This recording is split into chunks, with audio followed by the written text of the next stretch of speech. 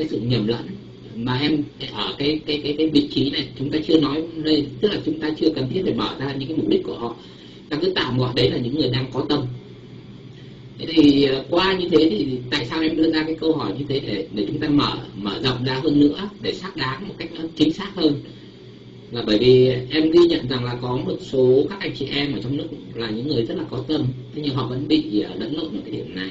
Và chính vì cái lẫn lộn này nó sẽ mang tới một cái ý thức người dân nó vẫn bị trì trệ ở một cái điểm nào đó nó chưa thoát được khỏi. Thì em xin được dẫn giải một cái cái đoạn này thôi để chúng ta cùng uh, mổ xẻ. Và cũng hy vọng rằng anh trương nếu có thời gian thì anh cũng có thể mổ xẻ uh, bằng một bài viết chẳng hạn. Uh, em xin được nói là cái cái cái sự gọi là mình gọi là sự diễn giải của thượng thượng tôn pháp luật và uh, để được thượng tôn pháp luật thì cái pháp luật dưới con mắt của những cái người khoa bảo Việt Nam nó là như thế này. Em xin được uh, trích đoạn bởi vì em chỉ ứng dụng vào những cái tư tưởng của họ xuất phát trên những cái cái cái cái, cái quan điểm và ý kiến của họ mà thôi. À, thì cái thượng tôn pháp luật thì à, người ta nói như thế này này. Ừ. thứ nhất đấy là pháp luật chính là cái chỗ nương thân của của công dân. À, nếu chính quyền không tôn trọng pháp luật thì không những danh dự tài sản của công dân không đảm bảo mà ngay cả số phận những quan chức chính quyền ấy cũng có ngày bị vùi xuống bùn đen À, vâng, thì đây cái vấn đề này em chia sẻ đấy để chúng ta sẽ mở rộng ra từng phần một.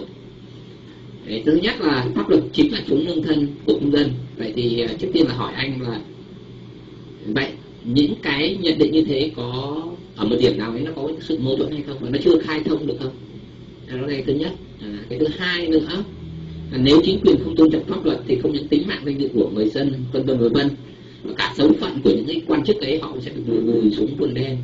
Có một điểm em xin được mở ra một cái phần như thế này là pháp pháp pháp luật đấy. Đấy, pháp luật đầu tiên mà cái người dân Việt Nam mình vẫn còn bị à, bị mơ mơ màng tức là chưa hiểu rõ là bởi vì cái pháp luật này nó bị được định chuẩn áp đặt bởi chính những người đang cầm quyền. Vì vậy những cái pháp luật ấy nếu nó có ảnh hưởng hay không ấy thì nó ảnh hưởng đến người dân mang theo một cái chủ trương là áp đặt. Và và những người và nó cũng chả ảnh hưởng gì với những người đang cầm quyền cả. Đấy là cái cái nét sơ khởi như đấy. Vâng thì vậy thì, thì, thì anh trương cho cái ý kiến về vấn đề này để chúng ta mở rộng ra vấn đề này. Bởi vì nếu như chúng ta không nói được những cái vấn đề này đó và ngay cả chính những cái người mà em tạm gọi là người có tâm tức là những người tiên phong ít ra trong cái tư tưởng họ có một cái gì nào đó nó có sự tiến bộ cũng mong muốn sự thay đổi.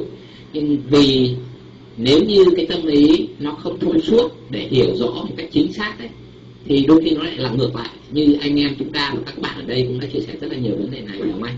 Thế xin mời anh nhé. Xin mời anh chưa không, phải công nhân im dùng chữ rất hay mà chuẩn xác trong cái trong cái trong cái hiện tượng này gọi là chúng mâu thuẫn. Thứ nhất là nói xác pháp luật là chỗ nương thân cho người dân. Pháp luật là là nếu mà nhà nước không tôn trọng pháp luật thì nó mâu thuẫn do họ không hiểu đúng đấy họ có tâm nhưng mà do cái trí của họ không hiểu. Bây giờ nhấn mạnh lại pháp luật là cái gì hả? Pháp luật là văn bản ghi nhận xuống giấy trắng mực đen cái quyền của người dân và những cái giới hạn của hành xử nhà nước. Còn chúng ta hiểu pháp luật là cái phương pháp, nguyên tắc để cai trị. Bởi vì chúng ta vẫn còn ở cái đầu óc phong kiến. Im mà các bạn hiểu. Chúng ta còn giữ ở trong cái chẳng hạn ngày xưa là nước có vương pháp gia có gia quy.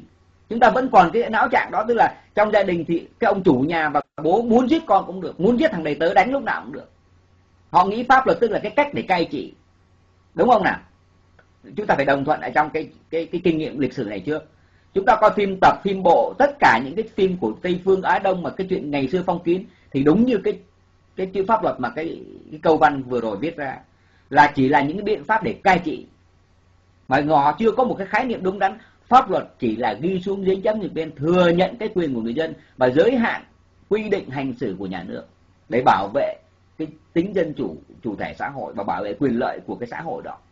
Pháp luật là, nhấn mạnh lại, pháp luật là những nguyên tắc hành xử để bảo vệ giá trị con người hay là cái hạnh phúc ổn định của xã hội đó, chứ không phải là chỗ nương thân người dân. Nó không là chỗ nương thân của ai hết nó chỉ ghi nhận xuống dưới trắng mực đen cái quyền của người dân và cái giới hạn của nhà nước. Quy định nhà nước được làm gì thì đó mới là pháp luật. Chứ pháp luật không phải là những cái nguyên tắc cai trị, cho nên nó không phải là cái chỗ nương thân người dân, mà nó là chữ phân biệt.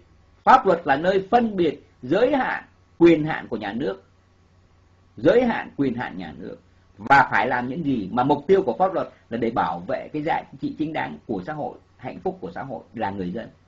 Đó là pháp luật. Còn hiểu pháp luật là chỗ nương thân. Pháp luật nó chỉ là một cái văn bản của ý tưởng đặt trên giấy trắng mực đen. Nó không phải là chỗ nương thân. Chỗ nương thân chính là sự hiểu biết của người dân. Bởi vì pháp luật nó có sống động hay không là do chuyện nhận thức hiểu biết của người dân bắt cái pháp luật nó phải thực hiện. Thí dụ, bây giờ hiến pháp Việt Nam có ghi rõ là mọi người dân Việt Nam có quyền tự do ngôn luận mà người Việt Nam không được tự do ngôn luận. Tại sao vậy? Tại người Việt Nam không hiểu và không thể hiện nó, để buộc thằng nhà nước phải thừa nhận cái quyền đó của mình. Mặc dù pháp luật chữ thì có ghi, nhưng mà không thể hiện. Cũng như chúng ta đã từng trao đổi hiến pháp, có những cái xã hội hiến pháp bất thành văn. Nhưng mà tại sao nó vẫn hoạt động tốt? Bởi vì dân trí, cái nhận thức của người dân nó hiểu biết được cái quyền lợi và cái ý nghĩa của pháp luật. Thành ra nó không cần ghi thành văn bản, cho nên ba quốc gia trên thế giới không có hiến pháp mà vẫn cứ hành xử tốt, dân chủ, do thái tân tây lan và nước anh. Trong danh từ chuyên môn, nó gọi là những bản hiến pháp bất thành văn, tiếng anh nó gọi là gì? Uncoded constitution. Uncodified. Tức là nó không có thành văn bản. Còn những cái hiến pháp mà viết thành văn bản, nó gọi là codified constitution. Thì vấn đề nó vẫn ở sự nhận thức dân trí có những quốc gia có hiến pháp nhưng mà coi như không có hiến pháp. Chẳng hạn như Việt Nam, Trung Quốc, những quốc gia độc tài, hiến pháp để trong tủ bởi vì không một người nào đặt cái hành xử tương quan, giới hạn vào hiến pháp hết. Nhà nước muốn làm gì thì làm. Mà tại sao nhà nước muốn làm gì thì làm? Tại người dân không quan tâm và kiểm soát mà giao khoán cho một người, một nhà nước muốn làm gì thì làm. Nó lại trở lại cái câu nhận định của cụ Phan Du Trinh. Rất chuẩn xác cũng tại bởi người dân không hiểu biết không có dân trí để cho nhà nước một một cá nhân một nhà nước muốn làm gì thì làm. Thành ra văn bản có có cũng như không và không cũng như có có như không không quan trọng mà không tôn trọng. Cho nên mà chúng ta hiểu sai. Để dân trí là do cái người vừa viết câu đó họ hiểu sai. Pháp luật không phải là chốn nương thân của người dân. Chốn nương không có chỗ nào là chốn nương thân của người dân hết. Nhà nước mới nhà, người dân mới là chốn nương thân của nhà nước. Và pháp luật chỉ là những quy định đặt ra để giới hạn quyền hạn của nhà nước mà ai giới hạn? Người dân giới hạn quyền hạn nhà nước. Và pháp luật đặt ra để giới hạn quyền hạn nhà nước để làm gì? Để bảo vệ, để xác định cái quyền của người dân và để bảo vệ quyền, dân quyền và hạnh phúc của xã hội. Nếu nhà nước lạm quyền do người dân không nhận thức, bạo quyền, thì tự động xã hội đi xuống. Tất cả mọi thành viên trong xã hội, kể cả người cầm quyền. Vậy bất ổn lúc bây giờ mới diễn giải là bất ổn. Bởi vì có thể nào bạo loạn thanh toán nhau, ngay trong cơ chế cầm quyền họ thanh toán nhau, bởi không có pháp luật. Nó chỉ là những văn bản để cai trị dân, thành ra nó không cai trị lẫn nhau. Nó dùng bạo lực lẫn nhau, thủ đoạn, thành ra chúng ta thấy nó thanh toán nhau, đảo chính giết đã ám sát, thuốc bỏ thuốc độc, uống trà, đủ trò hết. Bởi vì nó không có một cái điều lệ để tôn trọng, để hành xử. Vậy trở lại vấn đề then chốt. Pháp luật không phải là chỗ nương thân của người dân. Pháp luật chỉ là những quy định trên giấy trắng mực đen thừa nhận cái dân quyền của người dân là chủ thể của xã hội. Và chỉ pháp luật là cái văn kiện đưa ra để giới hạn, quy định rõ ràng, minh bạch cái quyền hạn hành xử của nhà nước đến đâu và trong những trường hợp nào và giới hạn ở chỗ nào. Chứ không phải là chỗ nương thân của người dân. Mà cái pháp luật nó được hành xử và linh động là do sự nhận thức hiểu biết, hành xử của người dân. Điều mà cụ phan bộ châu nói là mỗi một người dân phải bàn thảo kiểm soát. Cũng như ông jefferson nói, khi người dân không quan tâm thì tổng thống tránh án, thống đốc tiểu bang, dân biểu, nghị sĩ tất cả sẽ trở thành những con chó sói. Là như vậy.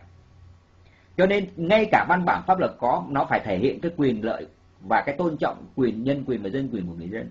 Với điều kiện người dân phải nhận thức và đứng ra bảo vệ, sử dụng nó để cho nó linh động. Còn không, nó chỉ một văn bản chết thì trước khi nhường lời lại cho tôi chỉ nhấn mạnh lại. Cho nên chúng ta thấy có những xã hội nó không cần văn bản hiến pháp mà nó vẫn hành xử tự do dân chủ và dân quyền nó cao. Bởi vì nhận thức dân trí rất cao. Nó tôn trọng những cái quy ước trong xã hội với nhau, tức là những cái convention, những cái quy ước, giao ước với nhau. Người ta hiểu được như vậy và người ta hành xử người ta không đi ngược lại, bởi người ta có cái dân trí cao. Cho nên người ta không cần bản hiến pháp rõ ràng. Nó gọi là uncodified constitution, tức là không có văn bản. Nó có những cái điều